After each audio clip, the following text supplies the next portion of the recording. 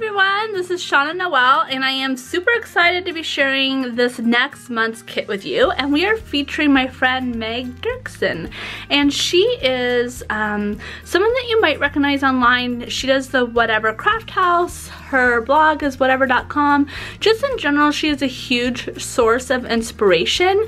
I completely blame her for my obsession with vintage globes and kind of all things vintage schoolhouse related, which you will find all over my house. So I am blaming that solely on her and um, she needs to take responsibility that's all there is to it but honestly you guys she just has a heart for God that I wanted to highlight and share and work through with you a lot of times we feature artists that I personally just pick out of selfish reasons. so I am super inspired by them. I want to work with a kit that they wrote and that they helped us design and I love that about this kit is I think it just screams Meg and um, the words in her devotional are something I'm really looking forward to. Her kit this month is a little different than maybe some others because I feel like this one you could really kind of get a rhythm down and a prompt system down and work through that in a really fun way. Um, okay, let's open it up. So when you open it up, you're gonna see this little letter from me, and I'll let you read that when you get it. And then on the back, you have um, don't just let this sit in there because you can always take this card and put it either in your planner or your Bible. I lately have been loving connecting my Bible journaling with my faith planner, my illustrated faith planner, which you can find in the Dayspring store, and using this sticker in there as well. Um, so I'm always kind of thinking about how I'm going to put that in there and then also about the Bible journaling process. Kind of help me stay on track a little bit, so it's good. Then you get this adorable little pouch of fun just fun. And on top you'll see this cute little paper clip and this is perfect for sticking your Bible in your Bible on top as you work through the kit. Just a little visual reminder of what you're working on. And again, this little sticker. I've seen a lot of people use these in different ways. Um, some people are putting them at the front of their Bible so they know which of the kits that they have worked through in that Bible. I'm using mine in my planner so I can stay focused that week on the kit and all that sort of fun stuff. Then in here, let's open it up.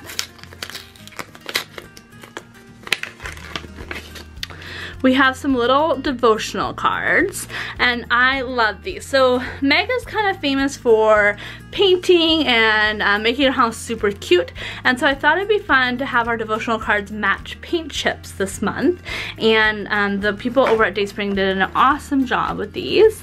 They're so stinking cute um, and at the top they have a word and then a Bible verse so you could either decorate these or leave them as as they are and on the back they have these little prompts which are amazing. I love them. I want to have like a whole sticky notepad of these. So cute. This month we get blue. So many have you have been asking for a blue um, ink pad and so I'm really excited for this one. I think it'll be a great color and I can't wait to see how you use it. Um, later once we open the stamps I'll test it with my sample pack but this is just a, such a pretty blue it matches the kit very well and I'm just so excited to see that. Yay! Natalie will be excited too because she can make a whole color chart with those. And then one of my favorite items is always the washi tape. So let's open this bad boy up. We of course had to do rainbow for Meg. She loves all things in rainbow order. And so we thought it'd be so much fun to have rainbow washi. And I think, I always like to have one thing that I use on every layout throughout the kit so that they all kind of are cohesive. And I think that might be the washi for me this time, might be just a little strip of washi of that rainbow at the top, just to signify um, which kit I'm going through and they'll just be really simple. I'm also really obsessed with these stamps. So I want to be perfectly honest with you guys. When Meg first said she wanted emoji stamps, I was like, ah. I'm like, okay, we can do it because you're awesome, but I wasn't so excited about them. I think emojis are kind of overdone in a lot of ways, but then we were able to do these super, super cute ones, and I was like, yes, all day long. Those are adorable. And then these ones again are really full of usable stamps as well as some amazing prompts that will really get you guys thinking. So I love like the he gives, you can color that in. Grace and love, we can use that a gazillion times. This little flag stamp, you can stamp it in one color and then journal on top of it or put stickers on top of it or even do this in like a yellow and then stamp the grace in a darker color and layer them up but there's just so many so many ideas. And then I love anything that kind of points down. I always imagine using that on top of journaling. So if I'm doing a bunch of journaling um, I like to have something to kind of top it off with. That works really well there as well as this cute little heart speech bubble and then the My Father Tells Me speech bubble, I love this. I think anything that we can kind of use to talk about what we're hearing through Christ or what we're reading the Bible and what God's telling in our life, I think is awesome. And then same with this, through Christ I am. So each day in the devotional, Meg talks about different ways we are, or different things we are through Christ. And this will just be a beautiful and easy way to document that. I have hope a little heart bubble. Just again, like if you're writing down a verse or you want to remember a verse, you could just stamp that down, write the verse in there, something you love, or really simply something that you love. Um, again, with that pray uh, prompt, you could just write a little simple prayer, like even if I'm just writing moving, I could just write that in there and I know the rest of it, just kind of a visual reminder. And then hashtag preach because hashtag preach, right? I've been using that a lot lately, so I wanted to include that as well. And then this cute little light bulb. This is in some of our die cuts is a similar light bulb, and I love this little light bulb. Um, I doodled it a while ago, and I just thought it went well with Meg, some of Meg's things. And that is the stamp set. I hope you guys are excited. I know when Elaine came to the studio and she saw a little sneak peek early, she's like, all these are super usable. So I was excited about that. And then don't forget when you open up this little stamp backer, dun dun dun, you get the little profile on Meg right here, which explains, it's just a letter from her and I love having these in here because it just explains the heart behind them. Some little tabs, and these work well with the We Are Memory Keepers tab punch, but you can just cut them out as well. A whole bunch of little banners a thankful and grateful journaling spot. These are killing me, these little buntings. Those little faces are so cute. And then a little tag, which you can cut out. I didn't have a hole punch with me, so this is not done super well, but you can cut out and put a little thread on top, kind of make it more interactive. But I want to make sure to include an earth symbol of some sort because when I think of Meg, I think of what globes. And so we had to have that in there for sure. And then this little gratitude journaling card as well. I thought you could washi tape the top and then use the back spot as journaling. Then here we have a whole bunch of prompts. Again, this this one's really full of prompts and I think it's gonna make us think in a different way. It's almost like a lister's kit with Corey List by Faith combined with a traditional devotional where it just has a lot of like thought-provoking prompts, which I really like that.